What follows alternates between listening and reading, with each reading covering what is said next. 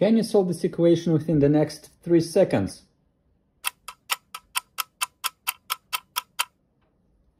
Please write down in the comments the answer you got. So, to solve such type of equation, we must follow the order of operation, which is PEMDAS.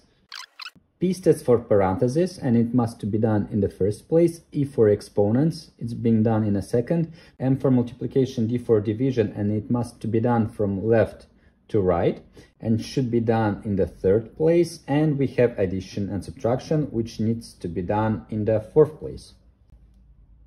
So first, as we see here, we do first what's inside the parentheses. So we get 4 divided by 2 multiplied by 8 squared. Now we must do exponents. In this case, we have only one number, but still, uh, 8 squared is 64. And we get 4 divided by 2 multiplied by 64. Okay, now we have the simple multiplication and division operation and we, we needed to do from left to right. So first we do division, then we do multiplication. So 4 divided by 2 is 2, multiplied by 64 and is 128. Thank you very much for watching. Please hit the like button and subscribe to the channel. Ciao, ciao.